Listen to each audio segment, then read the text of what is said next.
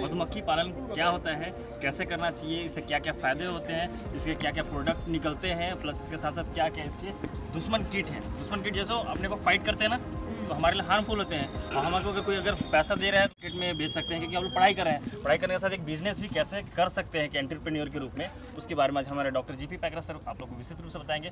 पूरे छत्तीसगढ़ में मात्र एक प्रोजेक्ट ऐसा है जो एक्रिप ऑन हनी बी है ना? अखिल भारतीय मधुमक्खी पालन प्रागढ़ सहायक किट जो है वो अंबिकापुर, अजीरमा में है, जिसको हम एपीकल्चर रिसर्च स्टेशन आपको क्वेश्चन कभी ऑब्जेक्टिव क्वेश्चन पूछ सकता है कि एपीकल्चर रिसर्च स्टेशन कहाँ है? तो आप बताएँगे छत्तीसगढ़ के अंबिकापुर स्थान में है, ग्राम, है ना? अजीरमा के अंतर्गत।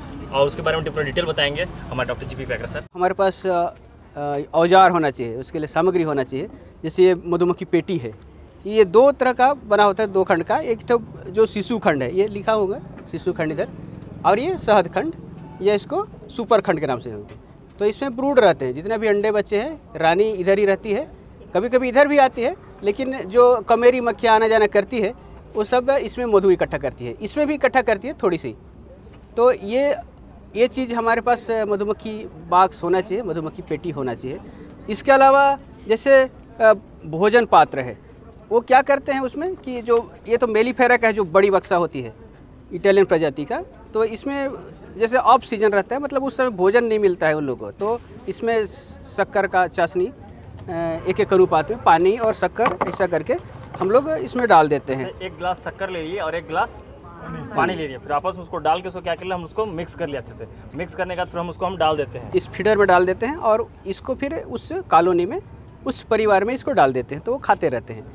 इसके अलावा जैसे नकाब है अपना जो अ, जब भ्रमण करते हैं या हम लोग चेक करते हैं पेटी को तो इस समय इस ऐसे कर देते हैं। तो पहन लिया जाता है। तो ये इसको नकाब बोलते हैं। इससे क्या होता है कि हमारा चेहरा बचा रहता है। ये ग्लोब्स है इससे भी दस्ताना लगा देते तो हमारा जो हाथ है। ये डंक से बचा रहता है। ये स्मोकर है। जब हम लोग इंस्पेक्शन करते हैं पेटी का मधुमक्खी कॉलोनी का तो ये ऐसा धुआँ कर देने से शांत हो जाती है काटती नहीं है। करना चाहिए जैसे हम लोग ऐसा और- करेंगे तो क्या होगा इससे? जैसे चारों तरफ़ जैसे ये- करेंगे। ये छीलन चाकू है जब हम लोग मधु निकालते हैं तो पूरा सेल पैक हो जाता है इस तरह का रहता है। तो इसको हम लोग काट के फिर उस जो मधु निष्कासन यंत्र है उसमें लगा के फिर घुमा देते हैं। नहीं तो कहाँ से काटते हैं? यहाँ से? हाँ ये क्या होता है सर जब पूरा पैक हो जाता है तो पक जाता है तो पूरा हाँ बंद कर लेते हैं सेल को। इसमें शहद भरता है तो, तो- ढक्कन बंद हो जाता है। हाँ ऐसी ही फिर निकालेंगे हनी एक्सट्रक्टर से तो निकलता नहीं है। तो उसको फिर छिलन चाकू से काट देंगे तो निकल जाएगा। इसके वाला हमारा जो ये पॉलन ट्रैप है जब हमारे पास पर्याप्त मात्रा में हमारा मक्खियाँ पॉलन पराग लाते रहेंगी तो इसको हम लोग अपने इस पराग, ये देखिए हम लोग इकट्ठा किए हुए हैं। इस तरह से सैंपल है इसका। तो इसको हम लोग खुद भी खा सकते हैं। और मधु के, मधुमक्खी के लिए भी हम लोग जब ऑफ़ सीज़न रहेगा, उनको भोजन नहीं मिलेगा, उस समय इसको दे सकते हैं। ये पराग है। ये प्रोपोलिस स्ट्रिप है, जब मेलीफेरा प्रजाति का है तो इसमें जो प्रोपोलिस रहता है एक गोंद टाइप का पदार्थ रहता है, सिर्फ़ मेलीफेरा प्रजाति ही इसको इकट्ठा करती है, बाकी नहीं करते हैं। तो इस उसको भी बेच करके हम लोग काम कर सकते हैं। उससे फिर निकाल लेते हैं। अच्छा जी ये बताइए जैसे हमने कई जगह पढ़ा जी। कि नी, नीम का शहद। हाँ। या अ, जी। या अपने यहाँ तो जैसे बादाम का खेती नहीं होता या हाँ, सेव का खेती सेव होता है जिन, जिन इलाकों में हाँ, हाँ। तो सेव का शहद। हाँ हाँ। तो ये ये कैसे करते हैं? ये देखिए स्पेशली जैसे उस क्षेत्र के लिए जैसे हम लोग का ये अंबिकापुर में हमारे फार्म में लीची है।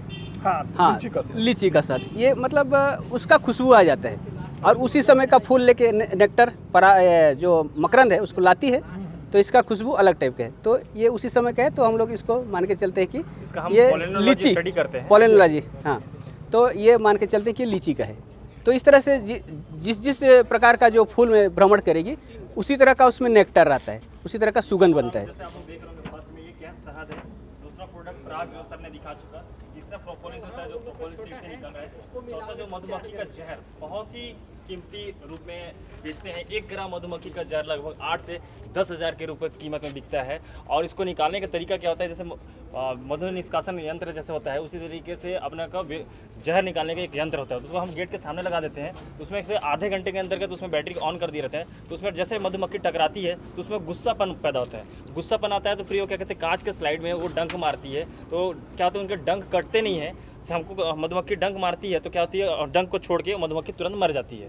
लेकिन जैसे वो कांच में डंक मारती है तो उसको सिर्फ़ जहर ही बाहर आता है, और उसके अलावा मधुमक्खी का डंक खराब नहीं होता, मधुमक्खी के जीवन पे उतना ज़्यादा अफेक्ट नहीं होता है, मधुमक्खी मरती नहीं है। फिर उसको फिर कांच के स्लाइड से हम लोग उसको क्या करते हैं स्क्रैप करके, खुरच के हम जहर को निकाल लेते हैं, और कांच की बोतल जो होती है, जो पारदर्शी ना हो, थोड़ा डार्क, काला वाला हो, ऐसे में, जिस तरीके हमारे काली सीसी है, उसमें मधुमक्खी का हम लोग जहर को इकट्ठा कर लेते हैं, और उसके बाद उसको पैक करके उसको संरक्षित कर लेते हैं, स्टोर कर लेते हैं, फिर बाद में उसको गठिया उठिया के जो रहता है, जो इलाज उलाज करते हैं उसके लिए भी, और बहुत सारे और भी जो मेडिसिनल वैल्यू है, उसका मेडिसिनल वैल्यू भी है, और हम लोग किसी का गठिया ज़्यादा उम्र हो जाता है, गठिया हो जाता है। तो गठिया का नियंत्रण करने के लिए जैसे हम लोग बी थेरेपी मधुमक्खी का डंक जैसे कटवा देते हैं तो उससे भी क्या होता है, जो मधुमक्खी के डंक से उसको एक जहर मिलता है, उससे उसका गठिया का भी निदान हो जाता है। नेक्स्ट सर और ये देख रही है, देख रहे हैं आप लोग। ये तो हम लोग जो लीचे के समय का बोले उस समय का फूल के बहुत ज़्यादा होता है। हाँ। दो अठारह सौ से दो हज़ार के आसपास में लीची शहद बिकता है। हाँ। लेकिन हमारे अनुसंधान में ये पाँच सौ रुपये प्रति किलो के हिसाब से दिया जा रहा है। ये सरसों का शहद है। जब सरसों का फ़सल था फूल था उस समय हम लोग जो इकट्ठा किए हैं तो उसी तरह का सेंड भी आता है इसमें। जी। और ये देख रहे हैं कुछ और यंत्र है बी ब्रश जैसे मधुमक्खी को हम लोग इंस्पेक्शन करते हैं। इसका उपयोग तब करते जैसे जो फ्रेम है वो एकदम सट जाता है हम लोग ऐसी खुला हाथ से नहीं निकाल पाते तो इसकी मदद से हम लोग इसको निकाल देते हैं और फ्रेम को और इसका निरीक्षण करते हैं। अच्छा ये एक मौन ये मौन गृह है? जी मौन गृह है। हैं? हाँ मौन गृह। एक है? ये एक परिवार है। अच्छा। हाँ हाँ इसको एक परिवार बोलते हैं और सिर्फ़ एक परिवार में सिर्फ़ एक रानी रहती। और सौ दो सौ नर हो सकते हैं। हैं? इसमें कम से कम पाँच छः हज़ार तो होते होंगे लगभग। हाँ। क्योंकि अच्छा कॉलोनी रहेगा तो। हाँ। हाँ। वो रोटेट करते हैं। रोटेट करते रहते हैं। अगर ज़्यादा संख्या हो गया तो उसको विभाजन करके फिर दूसरा और परिवार बना सकते हैं। और जैसे ये मेलीफेरा का प्रजाति है क्वीन रेयरिंग इक्विपमेंट। इसमें करते क्या है कि जब हमको ज़्यादा रानी या ज़्यादा और परिवार बनाना होता है तो हम लोग इसकी मदद से भी और नया रानी बढ़ा सकते हैं नया परिवार बना सकते हैं। रानी रोग द्वार भी होना चाहिए। हाँ। है हाँ हाँ। जो रानी मधुमक्खी है हाँ। और बाकी की जो मधुमक्खी है हाँ। उसके कैरेक्टर में कुछ अंतर होता है? बिल्कुल अंतर है साहब। ये देखिए। ये जो रानी मधुमक्खी है ये वाली ये वाली ये सबसे बड़ी है लंबी है। हाँ हाँ। और ये नर है ये थोड़ा गोलाकार और थोड़ा काला है। और ये कमेरी मक्खी है। यही सब काम करते हैं कमेरी मक्खी। पानी लाना पराग लाना और अपना मकरंद लाना। तो जो काम करती है सब कमेरी मक्खियाँ ही करती है। और ये रानी क्वीन सेल रानी सेल जब बनती है इस इसको रॉयल जेली खिलाते हैं जो कमेरी मक्खियाँ। तो ये इस तरह से बड़ी बड़ी अपन को देखने को मिलता है। तो ये क्वीन सेल है ये। रॉयल जेली रॉयल जेली जो कमेरी मक्खियाँ हैं वही पैदा करती है। और जो इसका जो ग्रब रहता है लार्वा रहता है उसको खिलाते हैं। तो बड़ी होती है तो फिर इस खांचे के हिसाब से बड़ी बनती है और सबसे बड़ी होती है क्योंकि रॉयल जेली खिलाए रहते हैं उसको। और बाकी जो कमेरी को भी रॉयल जेली खिलाते हैं लेकिन वो अलग टाइप का है तो वो छोटे होते हैं। नहीं तो रॉयल जेली आप क्या बाहर से इंपोर्ट देते हैं? नहीं नहीं नहीं नहीं, वो- वो कमेरी मक्खी पैदा करते हैं अच्छा। और वही खिलाते हैं। तो इस तरह से रानी मक्खी तैयार होती है। और ये देख रहे हैं जो मोम सीट। मोम सीट मतलब ये स्टार्टर का काम करते हैं, जैसे हमारे पास कोई नया परिवार ले आए तो हम लोग इसको काट करके इसमें सेट कर देते हैं फ्रेम में।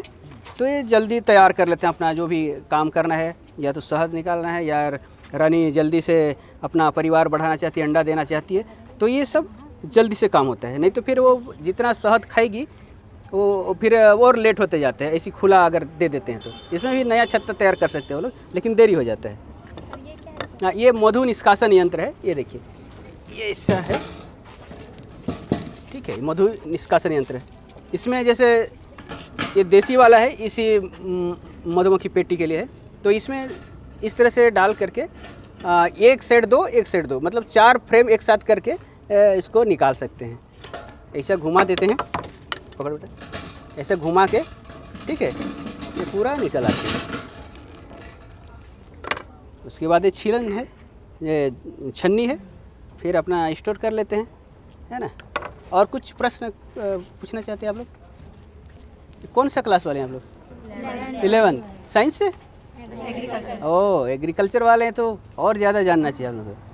Hello friend, uh, my doc- I am Dr. Sachin Kumar Jaswal, Acripon Honeybee, uh, apiculture research station Ambikapur आज हम लोग जैसे बात करेंगे विभिन्न प्रकार के मधुमक्खी, किस तरीके से हम पालकर अधिक से अधिक आय प्राप्त कर सकते हैं किसान भाई? तो सबसे पहले हम विदेशी मधुमक्खी बात करते हैं। जैसे कि विदेशी मधुमक्खी मतलब इंडियन बीज जैसे होती है, भारतीय मधुमक्खी एपिसेरेने इंडिका, जिसको हम पाल कर कर साल भर में एक मधुमक्खी पेटी से लगभग 12 से 15 किलो हम शहद प्राप्त करके बहुत ज़्यादा मात्रा में मुनाफा कमा सकते हैं। फिर हमारे जो इससे क्या होता है, हम किसान भाई बहुत ज़्यादा देसी प्रजाति से उतना ज़्यादा लाभ नहीं ले पा रहे थे। तो उस तरीके से हम बाहर के जो ब्रीड होता है एग्जॉटिक ब्रीड, जिसको हम इटालियन या यूरोपियन बीज कहते हैं, ये दिखने में बहुत ही बड़ी होती है। इसके जो ड्रोन्स होते हैं, आप देखेंगे ड्रोन कभी डंक नहीं मारते। और इसको आइडेंटिफाई करने के लिए इनके जो विंग्स होते हैं, इनके जो पंख होते हैं, वो ट्रांसपेरेंट होते हैं। और इसका जो बॉडी का जो बैंड होता है एब्डोमेन का, वो ब्लैक एंड येलो कलर में राउंड स्पेरिकल शेप में दिख रहा होगा आपको। ये ब्लैक एंड येलो कलर में बैंड है, ये मधुमक्खी, ऐसा नहीं ऐसा नहीं पीछे जाओ पीछे जाओ। मधुमक्खी को कभी भी हम निकालते हैं तो हमें आराम से स्मोकर का यूज़ करके, जो किसान भाई नए हैं, वो पहले स्मोकर का यूज़ करेंगे अच्छे से। स्मोकर का यूज़ करने से ये फ़ायदा होता है कि मधुमक्खी का गुस्सा शांत हो जाता है। तो सबसे पहले हम स्मोकर से धुआँ देते हैं पेटी के चारों ओर, ताकि मधुमक्खी में जो उनके जो गुस्सा है, उसको हम कम कर सकते हैं। कम करने के बाद हम बहुत ही आसानी पूर्वक से एकदम जो फ्रेम होता है, उसको बिना हिलाए आराम से हम इस तरीके से निकालेंगे। और इस मधुमक्खी के जो पेटी होती है उसमें 10 फ्रेम लगते हैं और 10 फ्रेम से हम इसको हनी निकालते हैं। एक पेटी से ये शिशु खंड है, जिसको हम ब्रूड चैम्बर बोलते हैं, इसके ऊपर सुपर खंड लगता है, जिसमें ओनली हनी एक्सट्रैक्ट करते हैं। तो इसमें भी हम इसको किसान भाई साइंटिफिक रूप से इससे भी हम शहद निकाल सकते हैं। ऊपर के ढाई से पाँच सेंटीमीटर फीट में जो दिख रहा है, इसमें वर्कर बीज लगे हुए हैं। ये वर्कर बीज ऊपर में जाके हनी फीट करते हैं। हनी फीट करने के बाद फिर इसमें क्या होता है, ये सेल को पूरा कैप कर देते हैं, पूरा बंद कर देते हैं। फिर ये सेल पूरा पैक हो जाता है। उसके बाद हमको पता चलता है, ये हमारा हनी मैच्योर हो चुका है, पक चुका है, उससे फिर हम शहद निकालते हैं। इसमें बहुत सारे जो वर्कर बीज हैं, वो काम कर रही हैं। और प्लस में हमारे इस सेल में क्या होगा, रानी नहीं है, इसलिए ये मधुमक्खी रानी सेल बना चुकी हैं, आप देखेंगे ये ध्यान से।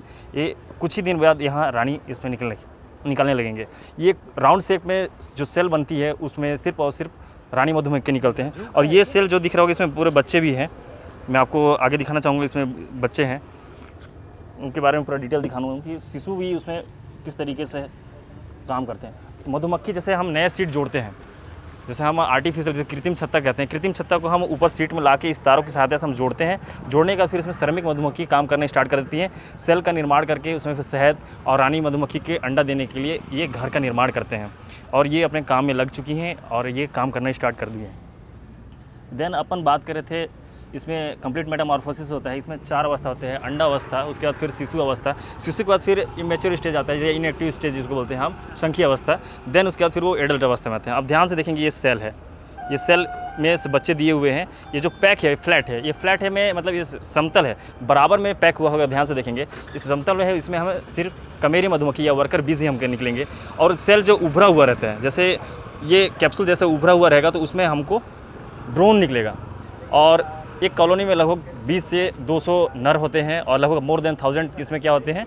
इसमें श्रमिक मधुमक्खी जो काम कर रही हैं, आपको दिखाई देंगे। और एक परिवार पे सिर्फ़ सिंगल रानी होती है, जो एक दिन में लगभग 1800 से 2000 एक प्रतिदिन देते हैं और अपने कॉलोनी को स्ट्रॉन्ग करके पूरा लाइफ साइकिल जो हम कमर्शियली के पर्पज़ से हम जो काम करते हैं तो किसान भाई यहाँ गलती क्या करते हैं कि मधुमक्खी को एक बार डाल देते हैं उसके रानी को उसको फिर लगातार पाँच साल तक क्या करते हैं रिकॉर्ड बिना मेंटेन किए हुए उससे शह- शहद निकाल रहे हैं और उनके बाई प्रोडक्ट जितने भी जैसे वैक्स हैं प्रोपोलिस है और पोलन है बी वेनोम है, ये सब इकट्ठा करते रहते हैं। लेकिन हमको क्या करना चाहिए, हमको अधिक लार्ज स्केल में पैसा कमाना है तो हमको दो से तीन साल रानी को बदल देना चाहिए। रानी को बदल देंगे तो क्या होगा कि हमारी यंग रानी रहेगी और ज़्यादा ज़्यादा अंडे देगी और हमारे जो नए नए वर्कर्स आएँगे, वो ज़्यादा काम करेंगे और अधिक से अधिक हम लाभ प्राप्त कर सकेंगे। तो किसान भाई, मैं आप लोग से सजेस्ट करना चाहूँगा कि इंदिरा गांधी कृषि विश्वविद्यालय से अफिलेटेड अपना राजमोहनी देवी कृषि महाविद्यालय अंबिकापुर में है। इसके बारे में एक्रीपॉन हनी भी इस पर पूरा काम चल रहा है। वहाँ अभी लेटेस्ट में ही वर्ल्ड हनी बीस डेज़ के दिन आर एम डी हनी लीची फ्लेवर हनी हमने लॉन्च किया है और उसको एफ़ एस एस आई से रजिस्टर्ड करके किसानों को और जितने भी कंज्यूमर हैं उनको हम हनी दे रहे हैं। पाँच सौ रुपये लीची फ्लेवर हनी आपको मिल जाएगा।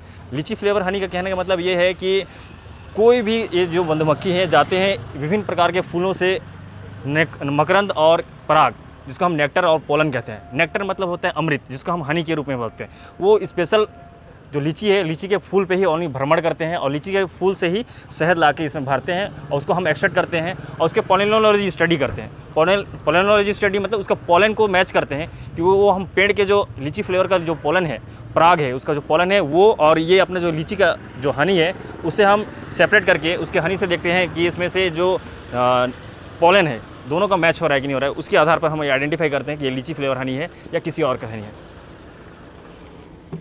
उसके पश्चात हम इसको अच्छे से रख देंगे और जब विपरीत, जब मौसम हमारा साफ़ नहीं होता है, उसमें हम, हमारे वहाँ पर लगा हुआ भोजन पात्र तो हम किनारे में क्या करते हैं, जब फूल हमारे पास पर्याप्त नहीं होता है, उस समय हम क्या करते हैं, इनको कार्बोहाइड्रेट के लिए हम क्या करते हैं one is to one ratio sugar solution बना के देते हैं। और उसके बाद अगर कार्बोहाइड्रेट के साथ साथ हमको प्रोटीन भी चाहिए, क्योंकि प्रोटीन के बिना ये अपना कॉलोनी बढ़ा नहीं सकती है। रानी को प्रोटीन चाहिए ताकि अंडे देंगे और उनके कॉलोनी बढ़ाएँगे तो किसान भाई यही गलती करते हैं कि आर्टिफिशियल जो डाइट होता है वो देने में गलत करते हैं। तो कार्बोहाइड्रेट जो आता है उसको हमको देना चाहिए। देन उसके बाद फिर हमको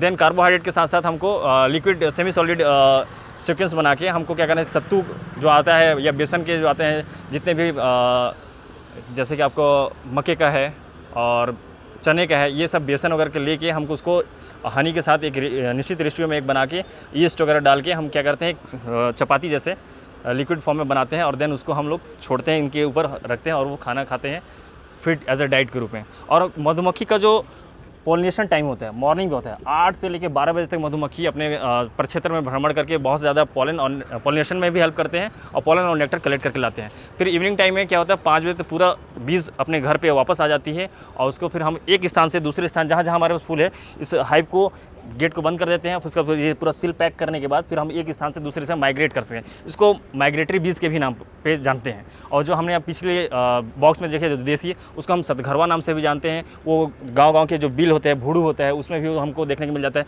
पेड़ के छाल वगैरह होते हैं, उसमें छेद वेद होते हैं, उसमें भी अपना कॉलोनी बना के वो एक पैरलर जैसे कि आपने देखा कि इसमें दस फ्रेम है। मतलब ये हॉरिजेंटल एक के बाद एक के बाद दस पैरलर कॉम्प बनाकर रहते हैं इसलिए हम इसको पाल सकते हैं। जो गाँव गाँव में पेड़ में भंवरे वगैरह रहते हैं बरगद के पेड़ में या फिर अ, सेमल के छाल वगैरह में रहते हैं बहुत बड़े बिल्डिंग्स में लगे होते हैं वो क्या होते हैं हमको शहद उनसे मिलता है लेकिन हम उसको पॉलिनेशन के लिए भी इंपॉर्टेंट है लेकिन हम उससे हमको पाल नहीं सकते क्योंकि उनका बिहेवियर जो होता है वो हमेशा ओपन साइड में रहना पसंद करते हैं और वो सिंगल कॉम बनाते हैं वो लंबा बनाते हैं वो वर्टिकल फॉर्म में बनाते हैं वो पैरलर कॉम नहीं बनाते हैं।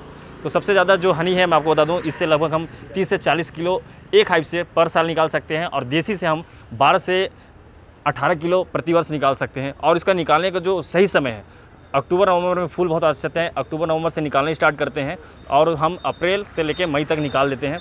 मई के बाद हम निकालना क्यों नहीं बंद कर देते हैं? क्योंकि बरसात का सीज़न आता है तो हम मई के बाद हम शहद निकालना ना चाहें, कि निकालने जो लास्ट में इमली मिल का फूल होता है, उस टाइम पे इमली से जो फूल से, मकरंद से जो पोलिनेटर कलेक्ट कर लेते हैं, ताकि उनको आगे जो बरसात में होने वाले जो दिखते हैं, उसको ना हो। इसलिए उस हम हम क्या करते हैं शहद को छोड़ देते हैं। छोड़ने से क्या होता है फ़ायदा कि नेक्स्ट जो बरसात में बहुत ज़्यादा बारिश होती है तो ये पॉलिनेशन के लिए बाहर नहीं जा पाते हैं फ़ूड लेने जा नहीं पाते हैं। तो रेनफॉल होती है। तो रेनफॉल होती है तो क्या कि अंदर ही घर के अंदर रहते हैं। तो उनको आर्टिफिशियल डाइट देने की ज़रूरत नहीं है, वो उसी में से क्या करते हैं सेल को खोल के वो अपना खा पी के अपने जनरेशन आगे बढ़ाते हैं। Thank you for watching this video like करें सब्सक्राइब करें।